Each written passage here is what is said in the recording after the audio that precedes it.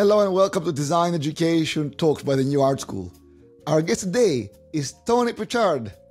Welcome, Tony. Thanks very much, and uh, good to be here. It's great for you to be here. So, tell us about you and your work. Okay, what I'll probably do is I'll, I'll start um, more recent and just say um, what, what I was doing recently, and then maybe jump back to a key, some key formative influences uh, up until now. So um, mm-hmm. I was I, I, ran two courses at the London College of Communication, which was London College of Printing, and the course was um, a part-time postgraduate certificate, a full-time postgraduate diploma called Design for Visual Communication, and it was largely for mature postgraduate. They were graduate in a different subject, not graphic design. So, you know, speech therapist, lawyer, all these sort of things. And for some reason, there was a journey towards our course, um, set up in 2004 in response to the MA, which was then being run by Ian Noble and Russell Bestley. And they were getting interesting people that weren't quite right for the MA. So they needed a almost like a foundation, postgraduate foundation course um, for students to get up to speed on research methods and the practicalities of the subject. But also, we had short courses, and they student, people that studied on those short courses wanted something more substantial that might be a qualification. So that was set up to meet that requirement, and so that's that's what I did between 2004 and uh, 2020 when I decided to that I, I, wanted to embark on a different phase of life. Um, but just to step back and just a few key points that that maybe led up to that course, which I've been most associated with. Um, just jumping way back um, to you know how did I get into this subject and and education. Um, right back, you know, when I was six years old, we were living in Scotland, and there was a project, a nature prize project, which uh, I made a, book, which you know I stuck flowers in and cut out animals and stuck that in. It might have been competitive dad because my father probably did it. So probably my father probably won the prize. But I became aware of this sort of visualization thing.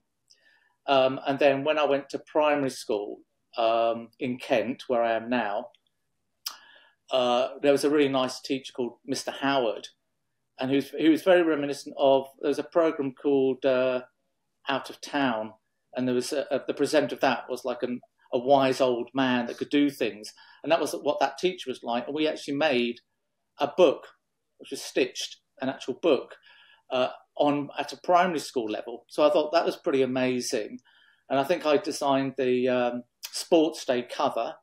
So I was kind of getting into, uh, for some reason, into this thing. It was interested me. I've got an older sister that was also into art, and she had books on a shelf.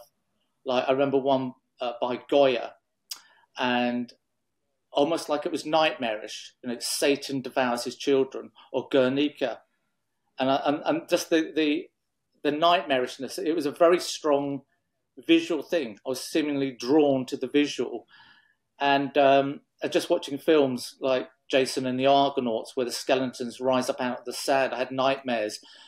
So I think I had a very vivid imagination from quite early on. Um, just then jumping over the main school, um, foundation course was absolutely fundamental. It was so important. It was. I look back 40 years ago, and I just feel it, it was one of the most enjoyable, important years of my life. And I think people talk about national service, but I, I think any school child leaving school um, would benefit from a year of eclecticism I worked really hard at school, but it just didn't work for me. I didn't. I just. I managed to grab a few O levels qualifications to get myself onto foundation, and then once I got on foundation, that was it. It just and it, and it was a real booster. At the interview, the person said, "You're the next David Hockney." I went, "What?" You know, what? So, but it was the complementary studies. We did psychology, philosophy, music, history of art, history of design and it was eclectic, and that might be something we return to. Like, is something missing from education? Just this sort of opening your mind that we watched Eraserhead by David Lynch. You thought, what? You know, when you're at school, you're not really you're um, doing things in a particular way, and here it was like open. So, so um, all that eclecticism of listening to ABBA, Hendrix, Stockhausen, other people's tastes. You know, everyone could have an individual voice and a taste, and um, that was hugely, I think, influential. A year to find out maybe where you're going. I thought I was going to be an illustrator because, again, the influences during the 1970s would be book covers, record sleeves. You know, I, I used to copy the logos of Roger Dean, for example. Uh, just emulate, learn in that sort of way. Um, so that was really important. I went to do my BA undergraduate at Middlesex Polytechnic. It's a university now, and um, the person that interviewed, I didn't know until much later on who that person really was. I just thought he was an old man. I, I was dressed like Rick Mayall from The Young Ones, like you know, rebel, you know, old person. And so it was Romek Marber. Romek Marber interviewed me, and he's an amazing um, person. And he, he, but he didn't he, he, he didn't radiate that. He radiated humbleness, which might be a bit of advice for later on. Is mm.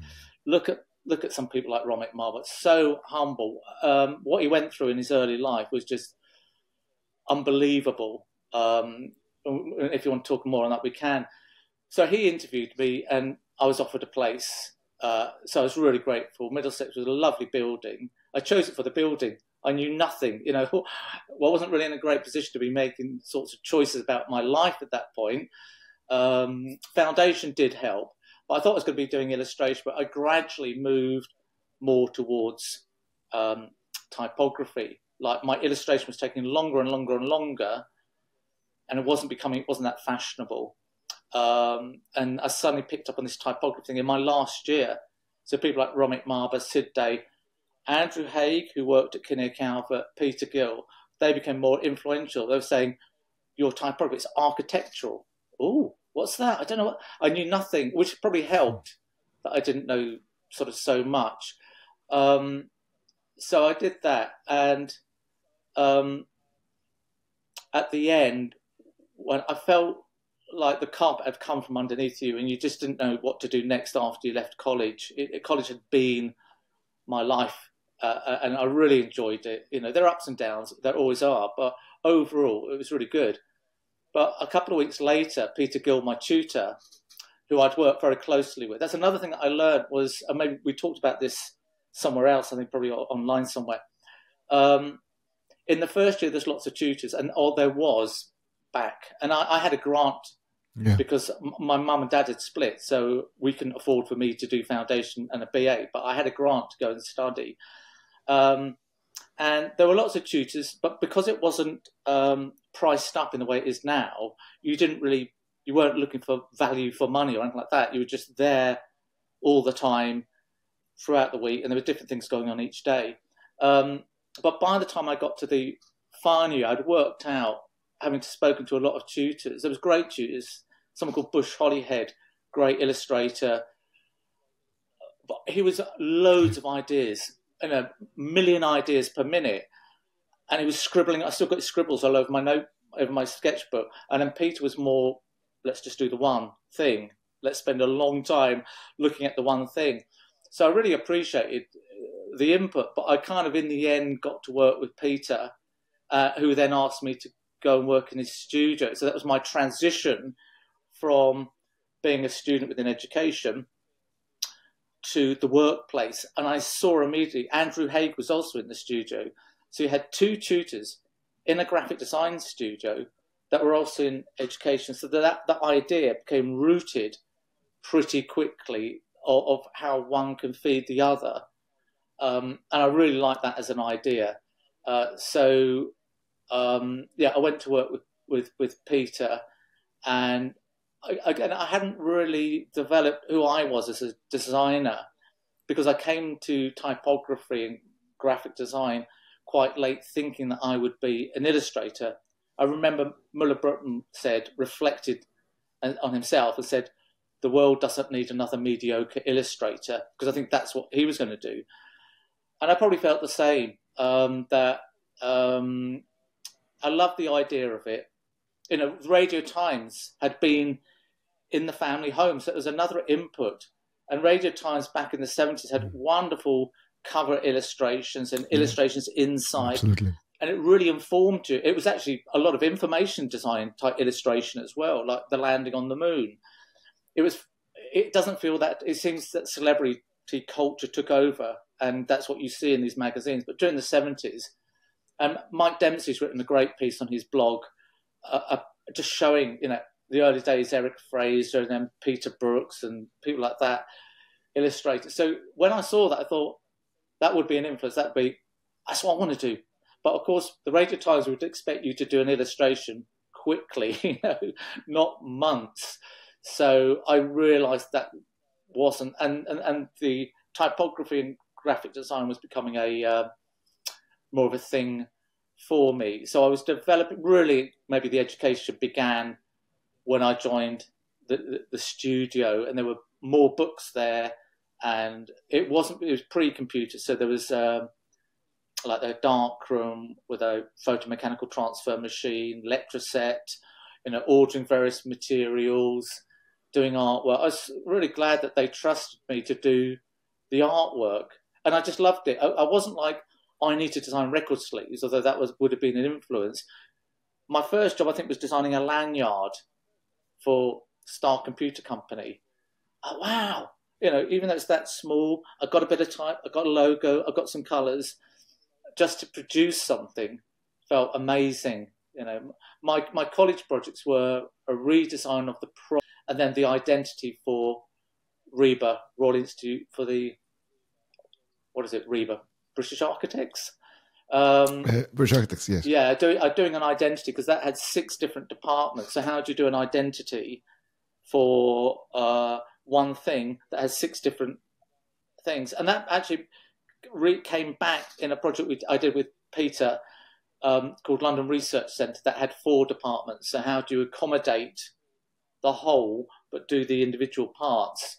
Um, so, Andrew was more socially driven. So, in the studio, Andrew was um, more politics, charities, that sort of thing. I did some work with Andrew later.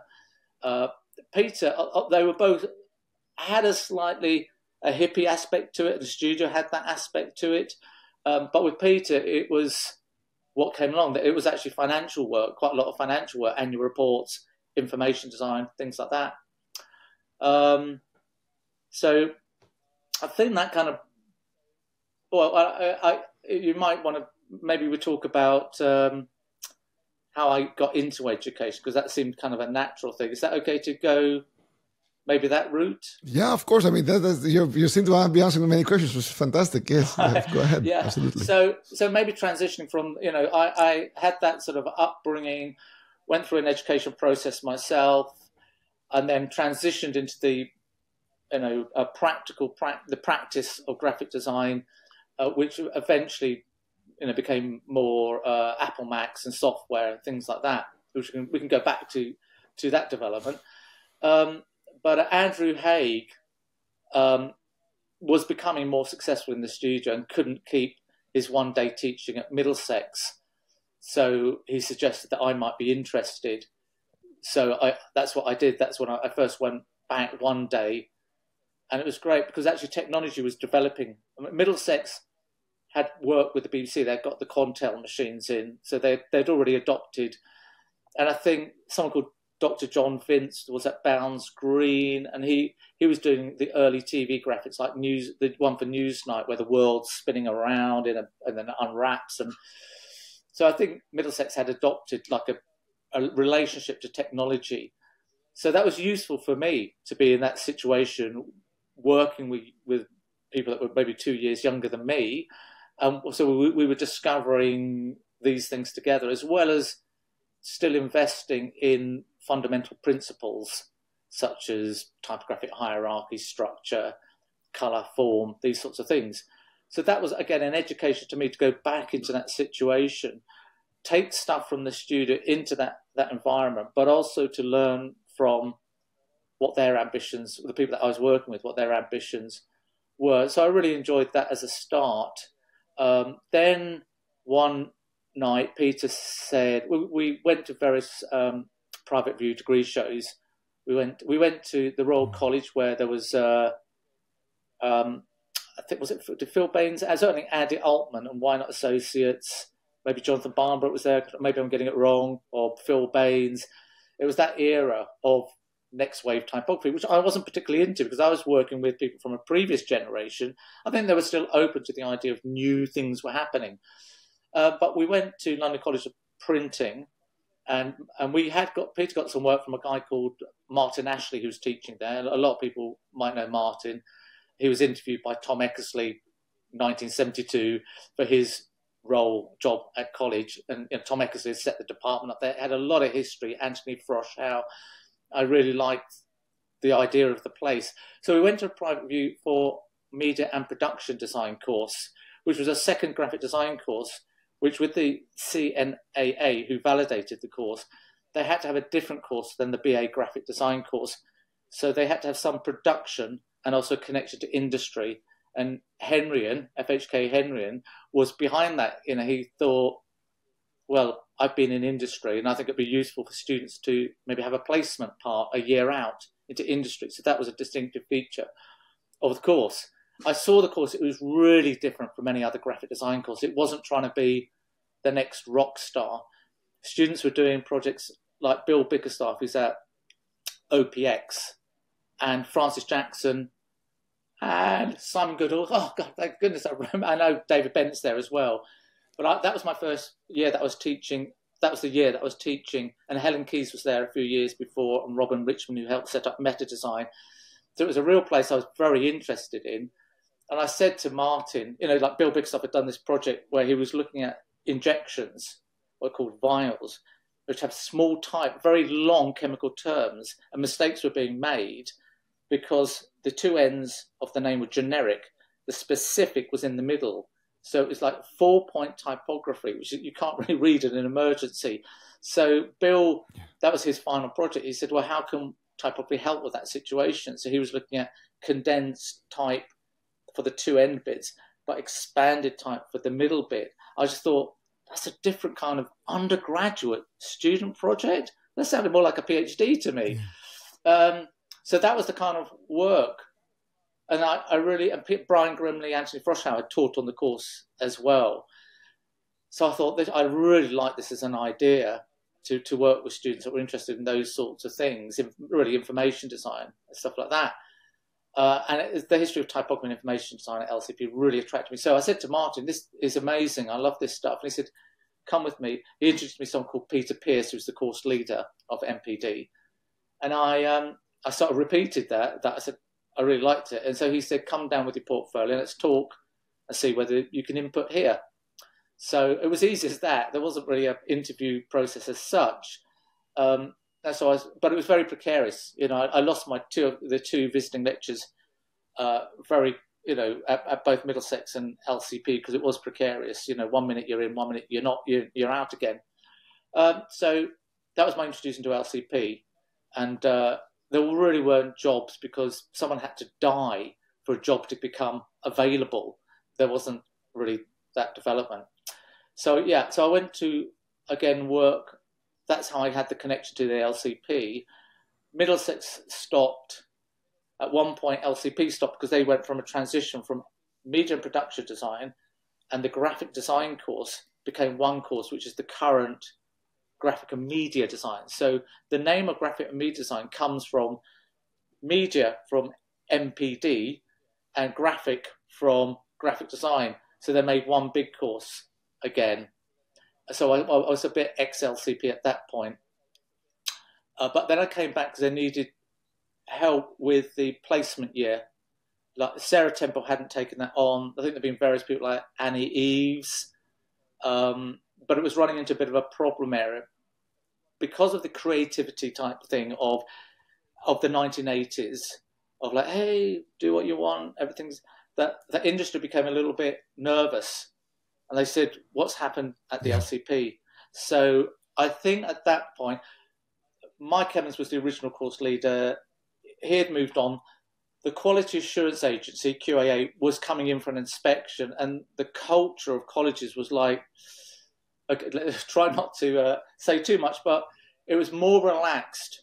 Like people might go down the pub at lunchtime. You know, certain people were known to drink, and that maybe you know certain students like Helen Keys and I've forgotten her name. She was the ICA publicity. Jane Harper mentioned that you might have to go down the pub for a tutorial. It was a little more relaxed. So when the inspection agency was coming in, big change was needed, and that came in the form of uh, a new dean, uh, Liz Leyland, who's fantastic, I have to say, and uh, Ian Noble and Russ Bestley, who brought in a huge change in terms of visual research, really changed the the idea that actually research could be the product. This was something universities, other subjects had understood that you can just present research and, and that can be visualized and that can be the product. The research is the product, you know. So that was their thing. That's what they brought in.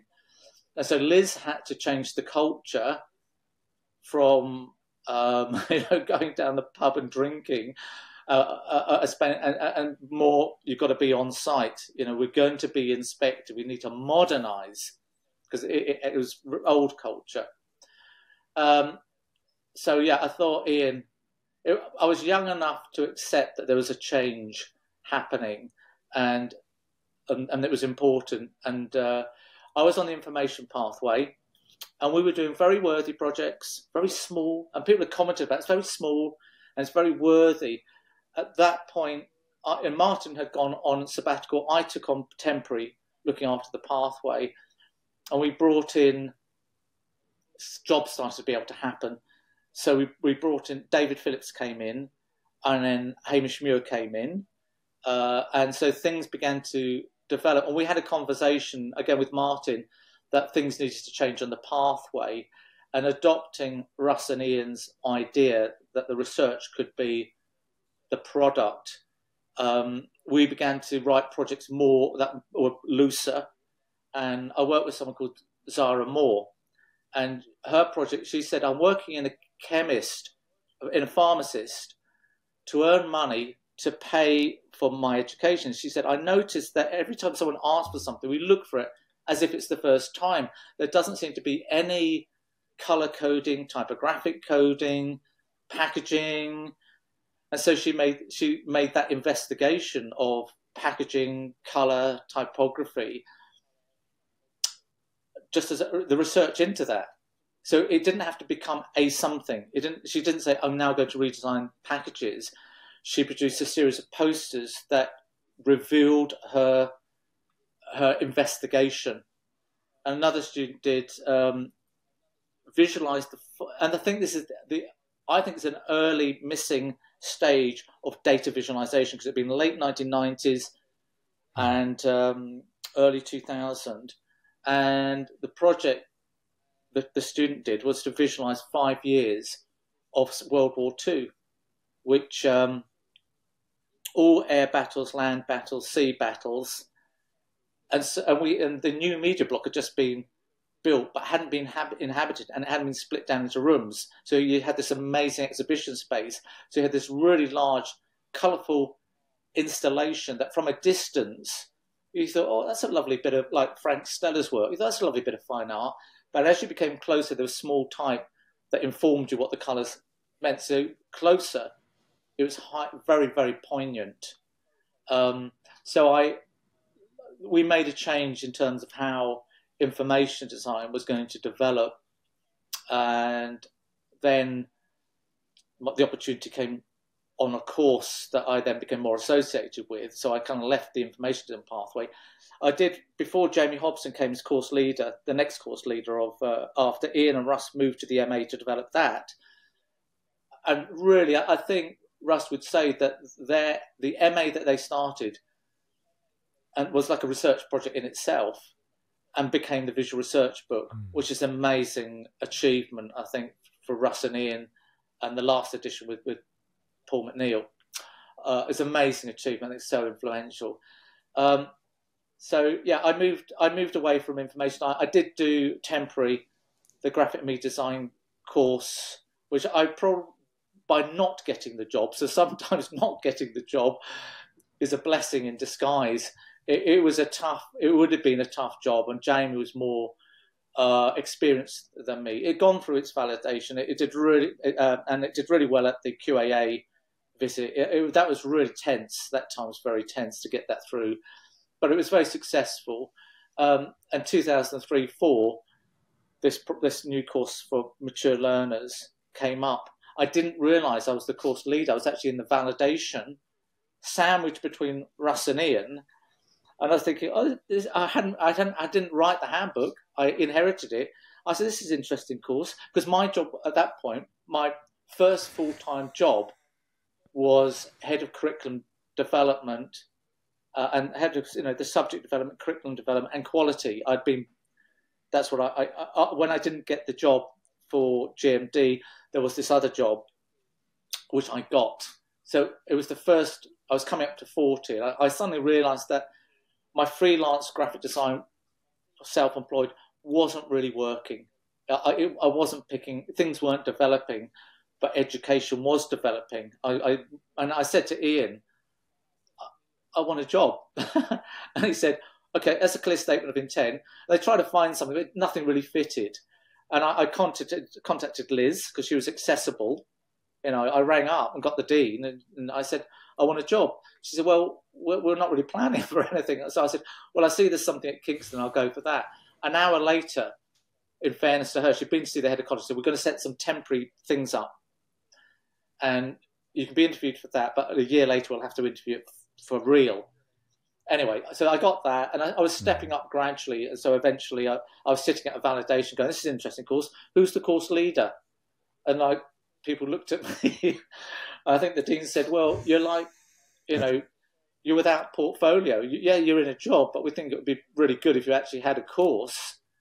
Um, so the, the then dean Mike Bradshaw was quite influential as well in ideas in developing that course and actually mentoring me into other things like being on the university um, assessment working party, developing assessment uh, guidelines and learning outcomes and all of these sorts of things. So it was, it was, a lot of fun for a while being in that position, and then I kind of got got this course.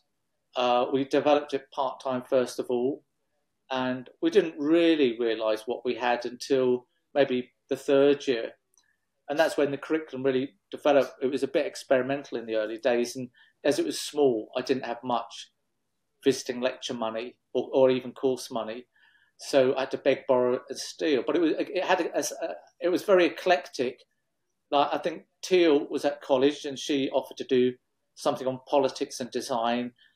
Tori Dunn, I mm. met again. The way that you can develop a course going back was Liz Leyland told Martin and I, get a taxi and go and visit places.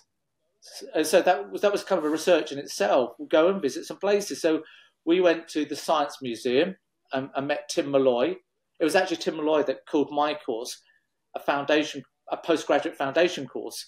So we met Tim Malloy at the Science Museum, and that was interesting because we were going to do exhibition design. And he said, I don't like using exhibition designers. I like using graphic designers because they can visualize things. You talked about Michael mm. Johnson when he said there's a problem getting people past the Edwardian facade of the Science Museum. What can we do? Over lunch, they had chatted, and then I think Michael Johnson got a spark from a Psi, uh, you know, Psi museum like that. Whereas a, a, a 3D designer might build a model. So Tim Malloy was kind of really open to graphic design, and he said go to Hollington Interactive and meet Tori Dunn because she's a creative thinker. She was his go-to person. And Tori was very different from me and Martin at, at LCP. If you were to type up, it was eight-point type and typographic hierarchy. And she was more like, um, what are we going to do about the missing sock? You know, when you wash, and you, you, where's that sock gone? What are we going to do about the missing sock? What are we going to do about the cues in the canteen? So she was a creative thinker and Tori was politics and design. Darren Raven, I think we, we had a little chat with the other day uh, on Facebook. Darren um, yeah. did narrative transitions. Scott McCloud's idea of narrative transitions. It was eclectic because I needed to borrow people because I couldn't, I hadn't developed what the course really was in terms of the curriculum. So we had more input, and we about by the third year, people like Cam Rehow, who's now I think he's been course leader at Greenwich, and I think he's now at Camberwell. Because you were dealing with grown-ups, which kept you on your feet, it really, you know, mm-hmm. kept you on your feet because they were they had worked professionally, so you couldn't muck around with them. Not that you should do. So they were helping develop the curriculum. They said, "Well, why aren't we doing anything with visual language?" There was a, a book, Christian Leborg's book on visual grammar, had just come out. So I went, okay, let's let's do something around that. And so that really developed by the student feeding back on those sorts of things. So the input from people like Darren, Tory, Teal, Jeff Haddon, great. You know, he, he developed the reductive drawing aspect of, of, of the course. And another Jeff, Jeff White, really influential on me. I just Jeff could hypothesize. He could draw um, lots of ideas together and then say this might be nonsense, but I've, I've found out this. Uh, so he helped with visual language. He also helped with typography. Jeff was well known for his work at Ravensbourne, um, and he was a lovely person. I thought he was going to be a nightmare because Ravensbourne seemed to be quite strict back in the 70s and the 80s. Seemed quite strict with their attitude. That you know they're developing more of a Bauhaus, De Stijl, Russian constructivism that you, you bought into that approach. But Jeff wasn't like that. He was very, again, very eclectic, very absorbing, and kept developing himself. You know, even into his 90s, he was still looking and developing, learning, learning from the students. He was so, when he'd like to chat to the students and learn about them and their culture and where they came from and their ideas. And it all fed into his ideas of one example would be repetition in design. So he would say, if you look at the painting of Seurat, the bather, the angle, the curve here is reflected in the bank. So he said, and then he saw Malevich. He said, "Do you see that angle is reflected here?" So his idea that often in design things are reflected, something repeats itself, is important. And he looked at typography and different types of layout. So he would say, "There's the clustered layout, or the group layout, or the staggered layout." And this was him just hypothesizing and then showing it to the students. So we had Jeff White as well. So I was amazed just looking back at that. You know, we, we had 20 hours of VT, so it was nothing at all. So it was like five hours of Jeff Haddon, 10 hours of Jeff White, you know, piecing things together. Uh, but it helped to develop that course. Like Tori Dunn said to me, your course, your students need to be saved from you. Because if it, if it had just been me and my eight point type, it would have been not right, you know. Um, but eventually the course developed uh, and we got this, this curriculum around typography and visual language and information design. We developed, like in the first term, quite a structured approach to fundamental principles.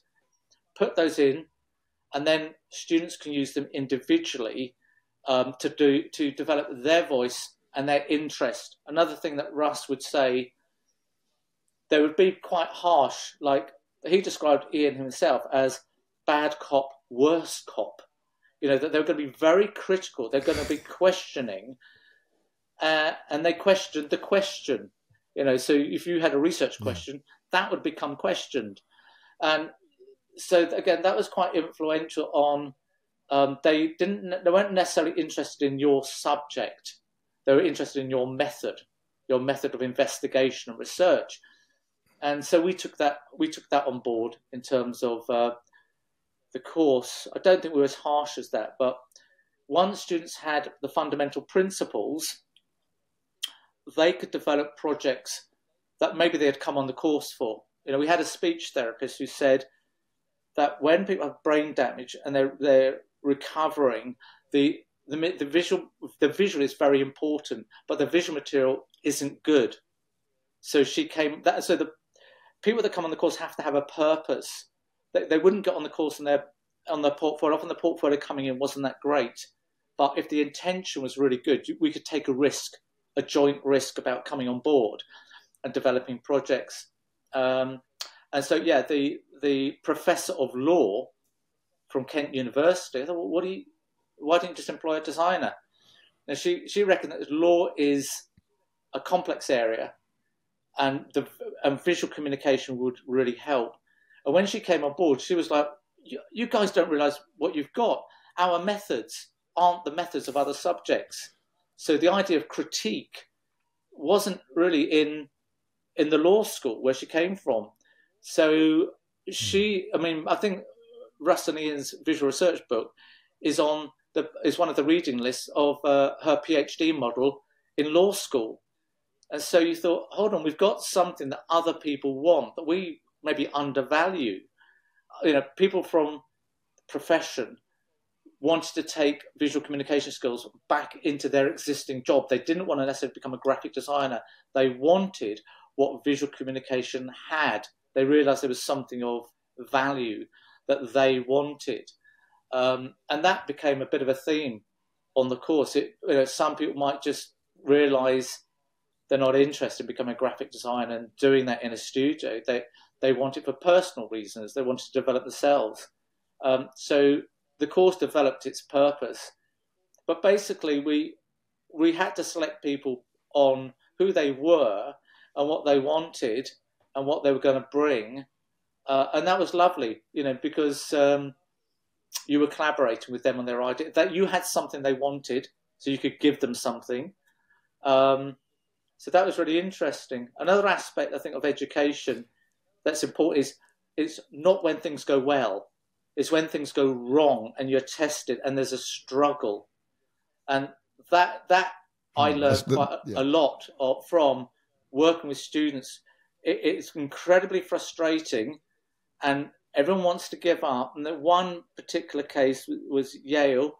The first part, the first part of the course where you're picking up the fundamental principles, that's fun and it, it's relatively easy to do. There's project, there's loose projects associated with it, so you can take it in whatever direction you wanted. But the real problem is when you've got freedom, when you finally have your creative freedom, but you don't know what to do with it. Yeah. Trying to trying to get the research question or statement of te- intent focused is really difficult. And this one, the project the student was working on was for a children's charity that needed volunteers and um, um, and it wasn't working. And she, we had a conversation. She said, "Can I leave the course now? Do, do I get do I get a certificate if I leave?" I said, "Don't leave. We've got to work through this. This is this is the learning point. This is we all want to make a lovely, beautiful end project, but this is where you're going to really learn when you struggle and it's not coming together. Yeah, we all have absolutely. to learn that. And, and maybe I'll talk about some of my projects where it's the same thing so what? Well, she'd done the Absolutely. symbol. She'd done the symbol. She'd done the illustration.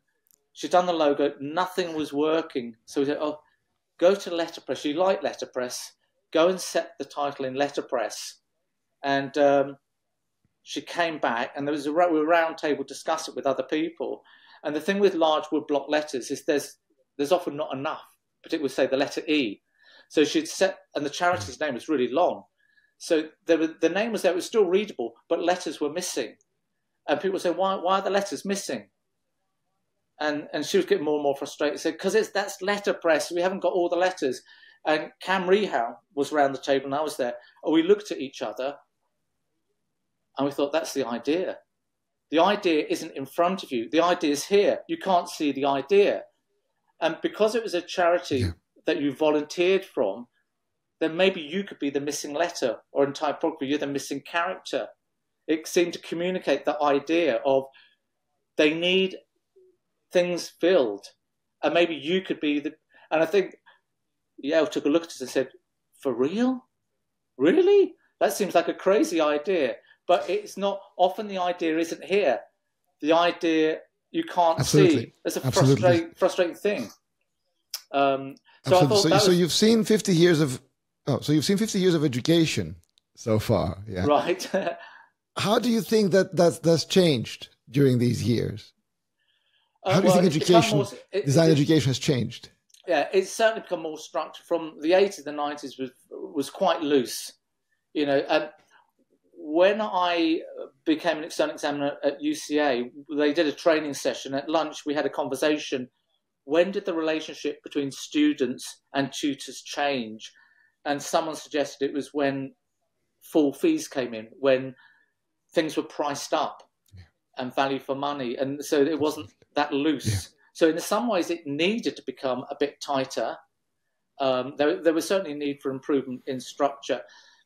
But in some ways, the structure of modules, units, courses create these silos where things are locked down and, and there's not so much fluid, fluidity between tutors. So there might be a really good tutor doing great stuff on the GMD BA course that would work really well on yeah. the MA. The MA could probably benefit. Why can't we have this looser approach? So things became more structured and justified and legal through the, the handbook so that students could see what was being offered. You couldn't offer something that you couldn't deliver. So I think that sense of structure, um, administration, quality assurance, guidelines, uh, regulations. And in some ways, I don't think we can complain because we weren't self regulating. There were things, you know, if one could self regulate, uh, but in the big institutions, people were acting up. And, and I know because I was in a, a quality assurance position where you say, please, can we have your annual course monitor reports? We've got the border study tomorrow. There is a sequence of things, there is a structure we have to fit in. So I think things got tougher and, and stricter. And I, I think now um, staff are, are, more professional. We had to get staff with their teaching qualifications. So again, I was responsible for that transition. And people resisted it. Well, they would say, I went to the Royal College. Yeah, but 20 years ago. Things have moved on. Um, and I'm great. I'm, I'm, i can judge everything. How do we know? You know, um, so we we got more staff teaching qualified. But do you think do you think a teaching qualification is relevant in design education, or a teaching qualification has been designed for other subjects? Yeah, it makes you more. Is relevant. It makes you more aware uh, because you do a little an action research project. So you can take something from your practice. Of course, no, no. Like of course, I, I know yeah. exactly what you're talking about because I did a, a large teacher qualification myself. Yeah. But but do you think that's that's how relevant is that compared to, for example, somebody who is uh, you know a practicing designer, or you know how, how does it work with between somebody who is very aware of the theory and not so much aware of the practice?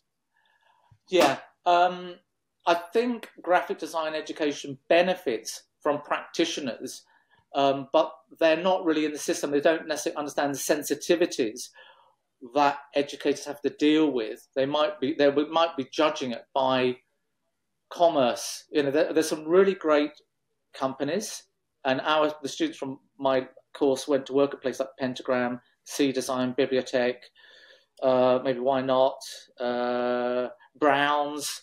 We seem to get on with them quite well. Yeah. But our course, I worked as a graphic designer in a studio with my tutors. So again, that connection, I could see the two sides coming together. Um, so I do think that's important. Uh, the action research project was was the important part. Well, I didn't know about, you know, things like constructive alignment. You know, like you have learning outcomes, you have um, assessment yeah. criteria, you have the project in the middle, and you have the constructive alignment. I think possibly EduSpeak has got out of hand. When you're outside, you're not using words like criticality and additionality. Um, and but when you're inside, that's the language, and it can seem a little bit uh, off-putting, particularly if someone's coming to study for the first time at a university and they hear this, this language. So I think sometimes the language can become an, an issue. Sure, sure. But but do you think the model we have here now benefits students more for, to find work, or, or or doesn't benefit them? Um, well, I always I see the the macro and I see the micro. Yeah. So as far as yeah. me in the situation, I always saw it as the connection between myself and the other individual that was going to be on the course and it, all the individuals. So I often maybe cut off from what was outside the room and the large. I had to deal with the larger picture, the macro. But when I was working with yeah. people, they it, it wasn't geographically based. It was people based. It was me and the people in the room, and they could sure they could communicate back to me. There was an open discussion. Um, so I thought it was useful going through the teaching qualification because you could examine. Like I could look at if my my course was international. Most students hmm. came from. You know, we used to put a map on the wall to document where to map where we all came from, and we literally came from Canada to Russia, all the countries in between. And so we, we as the information yeah. part, we would document that. And most people were studying in English as a second language. Most people spoke between two to four languages. There was only ever one person on the course that only spoke one language, and that was me speaking English. So I didn't understand what it, what is it like to study visual communication in a second language, and also cultural variation. Mm-hmm. In an academic culture shock, when you're coming from a certain culture that doesn't question academia, you expect them to get that yeah. within within weeks. It, it, that's not going to happen. So that became my project. Was yeah. um, you know um, when we write project briefs in English, what's it like? And I used to see sometimes students would accidentally leave their the printed project assignment, and I saw they'd written Chinese over it, so they began to interpret my or words like interrogate the question. Interrogate is a threatening word somewhere else in the world. So we use a certain language. So that I was able to, as part of the teaching qualification, look at the language we use within the assignments or how we talk um, verbally. So I gained a little bit of an insight by by doing that. It can seem a little bit. No, sure, sure, but I, no, this is fantastic. Mm. But what, how about sort of looking at this from a, from a more of an overview? You know, in a sense that from from from a more uh, from from a more a higher viewpoint, in a sense that that that there's the culture we have now. You know, benefit because because yeah in my experience, there's been a tremendous reduction, right? In in in uh, in everything. Yeah, yeah, yeah, yeah. Um, uh, yeah, I, I, suppose one of the things which we don't do a lot is uh, is to talk to the student. What do they want? I mean, I know there's there's student surveys, but often they're they're written in a particular way, and it can be, particularly if it's anonymous, it can be like an, an Amazon review or a Trustpilot review but when you talk, you need to talk face to face, eyeball to eyeball with people and say, which coming back from say the pandemic, when they said like, why do you need to come back to college? What what projects, what workshops are essential to be in person? So I said to the students, what is worth dying for? So they actually told me this project is essential uh, to to be together in a room together. So it was quite surprising. Some of the workshops that we do, there's one where we get newsprint. We make a 12 page tabloid and we, within the morning, do a layout for the you know for a particular project that we were going to do later and it was like half a day to do 12 pages on newsprint and they said that was a really important in-person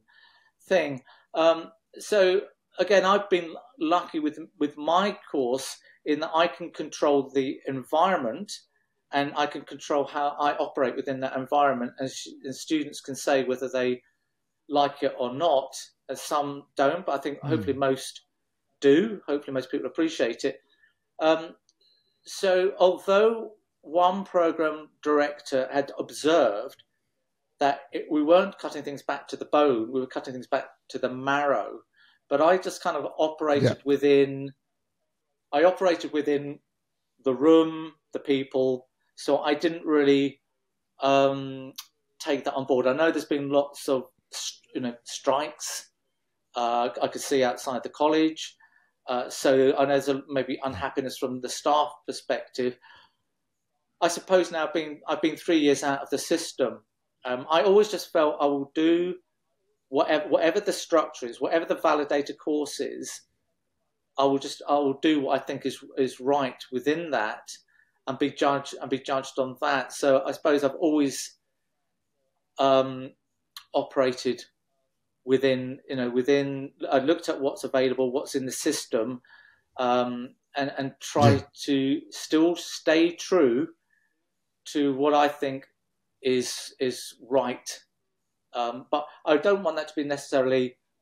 Um, people might think that I, that I'm indoctrinating. I hope not. I hope that I've taken on board the students, the people that I've worked with. I mean, some of them are like Henrietta Ross, Ian Carr, Cam Rehow are now course leaders. Kat Drew is senior um, design person at the Design Council. Margot Lambert set up her own company. Uh, I taught June Manyama Smithson when she was on the GMD. So a lot of people from 20 years ago are coming back to me. I'm saying, I hope I wasn't too harsh. And they said, no, no, we didn't say that with you. So it's really interesting to, to hear from people from 20 years ago. Um, like Fantastic. Jeff White, like Jeff White, I think he had the same attitude. Whatever's being cut around him, he would just come in and do his thing. And so I've got my greatest hits that I've developed over the years. So I went to work at a place down here when I left called the Margate School, which is an independent school operating outside an, of an old Woolworths building. So again, I was able to go back and get a contrast yeah. with where I've come from is really big, and there's a momentum that it's sometimes like it's a bit like King Canute trying to stop the tide coming in. You can't stop the tide if it's moving in a direction. You have to decide: can I operate within that? Is there anything that I can change? Can I change, or or do you leave? You know, if you can't. Which brings us to, to, to, the, to the important question: if if you had a magic wand, if there was no limit, if there were no limitations at all, what would you change? Okay. Um, well, yeah, I was saying that. I mean, that's that. I suppose one can deal with provocations, and but I mean, the reality, as I said, was I feel a bit like um, King Canute sitting in his throne trying to stop the sea coming in. Um, yeah. That I was able to do what I wanted to do within um, the setup. I think possibly the language I, I would try to make the language more accessible. You know, it feels a bit exclusive sometimes, and exclusive from the perspective of excluding, particularly if someone's coming for the first okay. time and is feeling nervous. I dealt with people. Uh, like I dealt with a, a extreme distance runner who didn't do a degree because her profession was extreme distance running. But aged forty, she had to think about what next and she was, she was very anxious about coming into the academic environment. So it can be very off-putting. So how do you make it less off-putting? And maybe the language. Like I, every year, I would say, it's a bit naughty. I would say, who's heard of the term learning outcome? And no one ever put their hand up. And they all had done an undergraduate degree, and that's the big higher education picture: is learning learning outcomes. So, but if you switch yeah. the language, if you just say, well, what would you like the outcome of your learning to be? It becomes more understandable. Yeah. And you say, well, I want to know something different that I don't know now, and I want to be able to do something different that I can't do now. Knowing and doing something different. So I understand to get a nice, convenient term like learning outcomes and assessment criteria. Yeah. But I think people want to make nice things when they're on the course. And maybe they don't understand, and maybe they get so connected to the idea of grades and numbers. And, you Absolutely. know, like, like when I did the teaching qualification, I wasn't at that time someone else's distinction. I was a pass, and I accepted that, and I accepted the, the feedback. So I think a great project would be um, what feedback would student like, particularly written feedback? What is the most useful uh, feedback that you can receive? You know, of this the whole educational experience, the the environment that you study in. Yeah, do, is a blank white room the best environment to learn in, or is it? If you go to a design studio, it doesn't look like an, a, a, studio within education. And uh, one I saw, did see in Bradford when I was an external examiner there many, many, many years ago. I liked the way they just in, integrated everything. So they put books and magazines into the studio. Silkscreen was there, computers yeah. were there. And likewise, I, I, I was an external examiner with Paul Crawley at Canterbury College, and he'd done the same sort of thing. There was um, the dirty environment and the clean environment were together, and there were posters. So you were learning. You had learning models surrounded, surrounding you, whereas yeah. a blank room might not be that inspiring. Um, so I think um, the that kind of environment, language, how you communicate to people, uh, how you can affect change. What do they want? They, they want to sort of somehow improve, and how do you how do you you know see that in a human um, way? Uh, and I, one thing that I learned that I think is really important within myself, within people, is developing judgment. You need the practicalities, the mechanics, but what is judgment?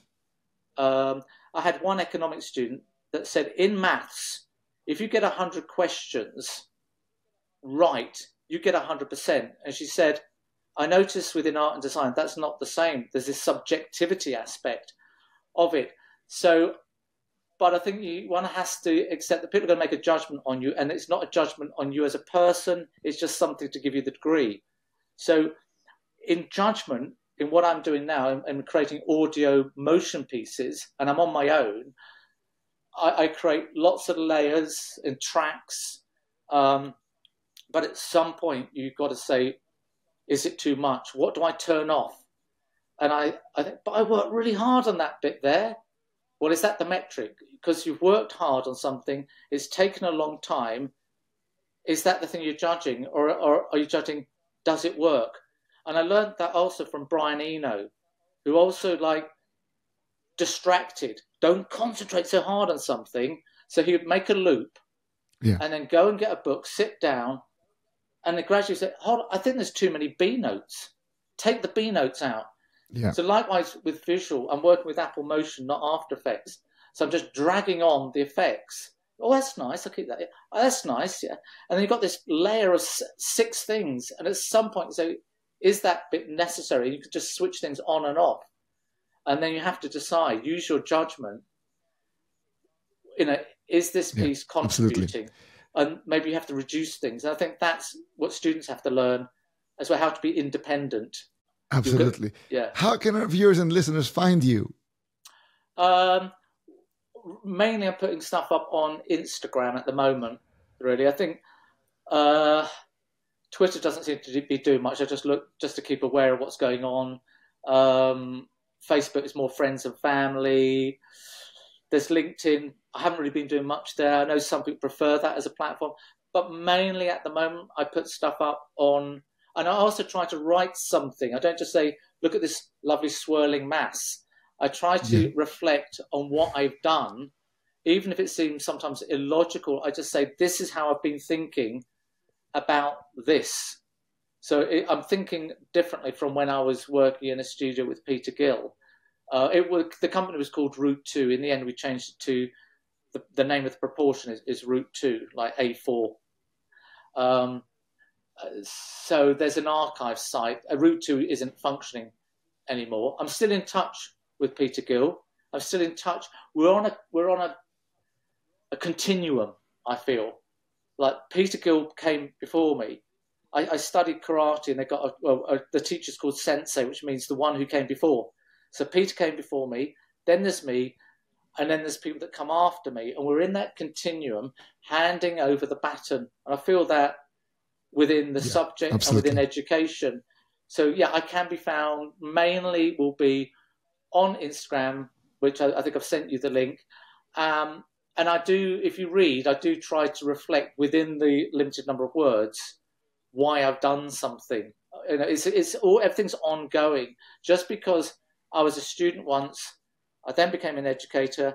I'm now something different, but there's a there's a, there's a thread that continues through that from the six year old to the 62 year old. There's a thread, um, but I'm really enjoying where I am at the moment, doing what I'm doing. You know, I've got currently doing something. We, we haven't mentioned the book which I'm doing with Ian McLaren, oh, which which is looking at.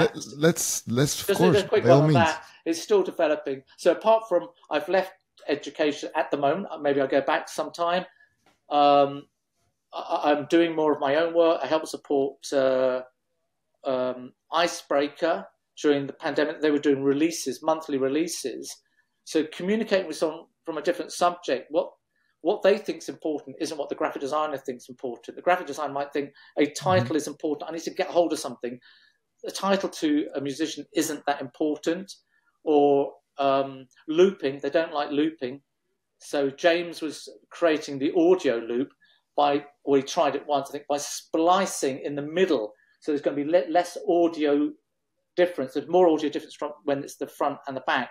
But if you cut the tape in the middle and loop from the middle, you know, but online's different.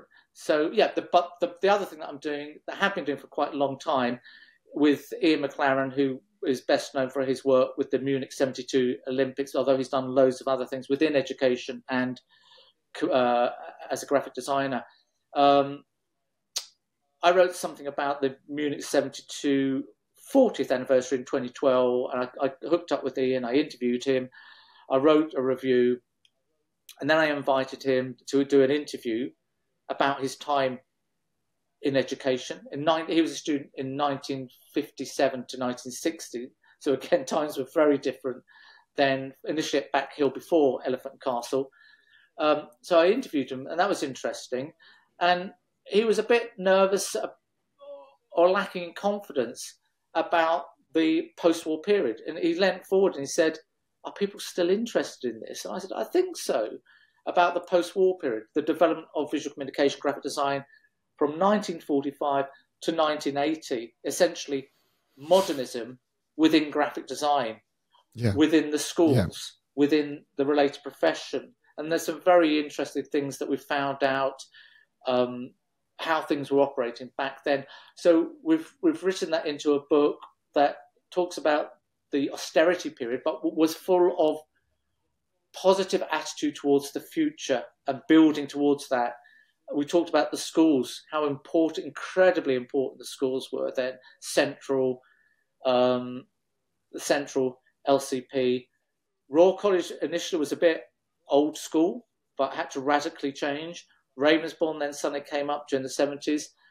Then we talked about key practitioners of that period uh, and their connections. So, uh, obviously, Ian McLaren knows Ken Briggs and his work with the National Theatre.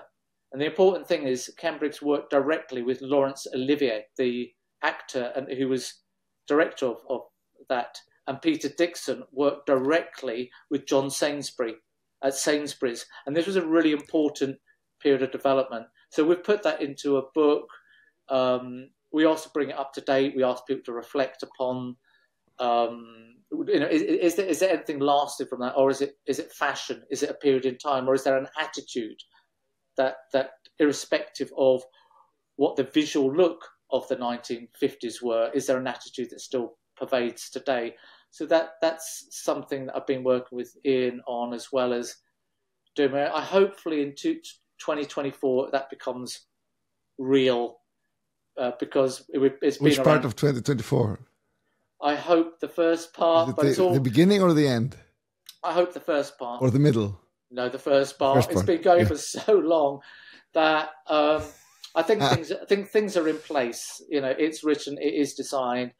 Um, we're having meetings, you know, at the moment. So I hope that becomes a reality. There might be things that people are disappointed with, but we can't write it from the perspective, apart from the final chapter, we have to write what happened in the 1940s and 1950s. You know, it does take on the picture of the emigres, emigres to this country like Romek Marber, Henrion and Germano Facetti. So Germano and Romek were both in concentration camps in Germany. Right, Romek had a gun at his back by the Gestapo. You can read about this on his website. Website um, I think it's called No Return. He didn't want to write about his experiences in the concentration camp, um, but he did. And Richard Hollis designed the book. Uh, and so that sense of modesty and humbleness from the older generation, hopefully that will come through. The reason why I'm writing the book is because a lot of people haven't heard. So you may have heard of something like David King. There's a book on David King, but not a lot has been written about that era within Britain. We know about continental Europe, we know about America, but we want to document that period. It can't cover everything. You know, life changed yeah. during the 1980s, so not everything is, is fully represented in the way that people would like from a 2023 perspective or 2024 perspective. Um, but it is all explained. The context, hopefully, is there. Um, so I, I, hopefully that is an important piece of work. Um, yeah, that sounds really exciting. So, do you have a title? It will be well. We've moved it rather than calling it British modernism, which locates it as um, uh, a nationality. It's Britain is at the end, yeah. so it locates it as a place. It's in this country, so it's it's modernist graphic design in Britain, and then from wow. 1945 to 1980, realistically, probably 1980 postmodern was in full throttle. Um, yeah. So, but it seemed to continue. People like, uh, well, I mentioned a few people like Lucienne Roberts, uh, Bibliothèque, SEA Design, North, and then you know, um, yeah, various publishers are kind of quite interested in that that era as well. But it's become fashionable again. But I think what we want to do is to transcend that and talk about the attitude of those designers and and hopefully, you know, that the young folk can pick up on that attitude of a positive optimism for the future, that they can they can design the future, and, and it's the baton, the continuum, hands over, so they can do they can take the best of forward, so they don't have to climb the mountain. The you know people have done that and helped them. Yeah. We can hand something over, and that attitude of a positive optimism for the future. You can make change. I know there's a lot of depressing stuff around, and people. The agenda for young folk is so big, and there's so many pressures to try and sort everything out. But you can only do what you can do as an individual. Um, and I think to be humble in what you do, um, to remain self-critical, to to question everything, question yourself, develop your judgment, learn from other people, be open to learning, but have your own voice um, and, and make your impact, whether within education or, or within the subject. You know, Ian McLaren said it for him, it happened. It was great. You know, and I can say the same. There are times where you feel it's not working, it is not happening, and you doubt yourself. But I, it came good for Ian. It came good for Peter Gill came good for me. There are ups and downs, but to try and stay positive, can do what what you, what changes can you make? Like you know, David King obviously got involved in protest posters, things like that, things he believed in. Apparently, according to Judy Groves, he didn't go on the protest. He didn't go to the union meetings, but he contributed what he could to the to the areas that he felt strongly about. Um, so yeah. That's fantastic. Although you you have answered the question, but you could, sort of, if you have something to add, what advice would you like to leave us with? Well, it's just uh, okay. One thing that I didn't say there, which I have do say to the students, uh, everything I said before holds true. But there's a danger if you see someone as uh, iconic or you know, the, don't try to be me. I am the best me that there's ever going to be. If you try to be me, you'll be second best. You'll never be me. So, having acquired everything, and it's great to take on influences and emulate to learn, but you have to be the best you. You have to develop you. You will be the best you that, that has ever been. So, stay true to yourself.